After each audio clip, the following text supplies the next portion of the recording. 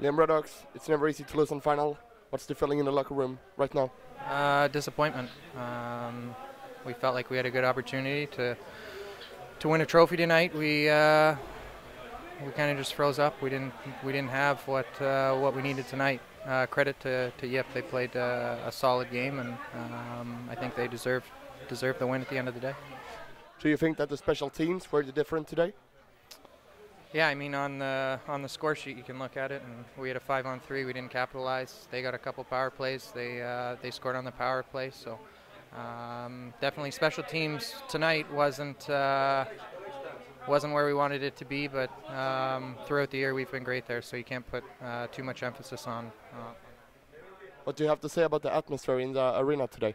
Atmosphere was unbelievable. Last time I remember it being that loud and um, that much energy in the rink. It was when we won the the national championships a couple years ago. So um, credit to our fans. They came out, they supported, uh, did everything they could to, to push us over the top.